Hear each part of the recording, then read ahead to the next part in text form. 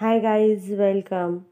Last year Savitribai Phule Pune University revised syllabus for MCOM class.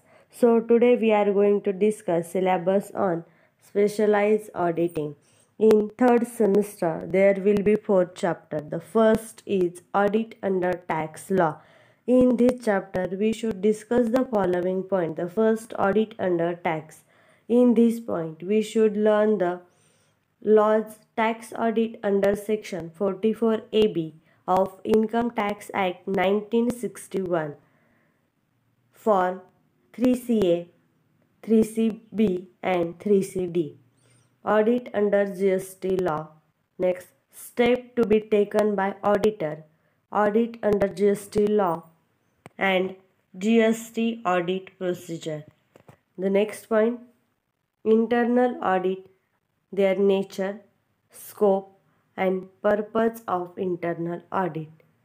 The second chapter, internal audit. In this chapter, we should discuss the following point. The first, nature, scope, purpose of internal audit, review of internal control. Next, areas of internal audit.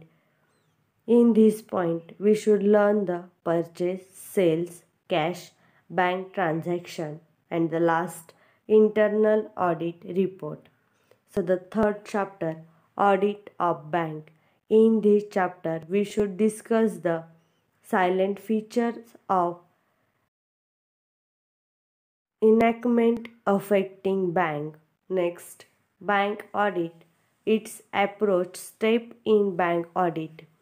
Next checking of asset and liabilities Scrutiny of profit and loss item, audit report of bank, and the last audit report. And the last chapter, audit of cooperative society. In this chapter, we should discuss the following point. The first, provision of Maharashtra State Cooperative Society Act 2013. The next, Multi-State Cooperative Societies Act 2002. Next, special features of audit of cooperative society. The next, audit of various society. In this point, we should discuss the cooperative customer store, salary earner cooperative society, cooperative housing societies, and the last, urban cooperative credit society. And report of cooperative societies. Thank you.